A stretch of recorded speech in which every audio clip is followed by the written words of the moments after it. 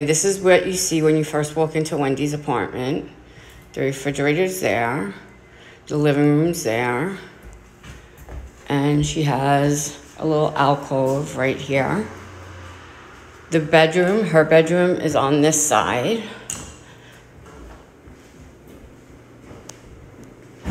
And the closets, there are two of them. That one has shelves in it. And they're big and wide with a shelf on top. He put up ceiling fans. There's one. So you walk out of Wendy's room. You go into, hi Sissy. Hi. You go into the kitchen. The fridge has been cleaned and sterilized. This is her pantry.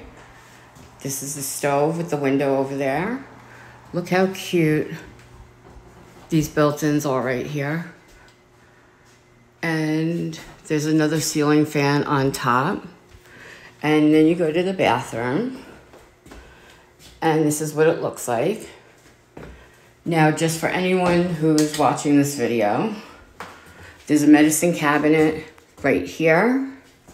You have the sink, the toilet, the toilet paper holder, a bathtub, a built-in hamper. The shower cur- shower is right here. Me and Wendy fitted it together. And there's a little rod for a shower curtain. And you have hooks on the doors. That's the lighting fixture above that. You walk back into the kitchen. And this is the living room, which is, first of all, look at the doorway. Isn't that cute?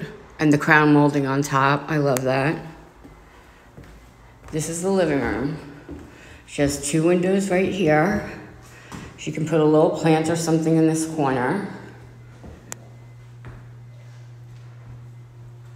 Josh's room will be off to there. That door stays locked. I don't know what's in there because I didn't see anything. And this wall has nothing on it. And there are outlets all over, which is nice. And then you come into what will be Joshua's room. And this is what you see. There's three windows in this room. Let's turn on the light. With another ceiling fan that he put up. And another closet, which is smaller, but Joshua doesn't need a lot of space. So that's the apartment.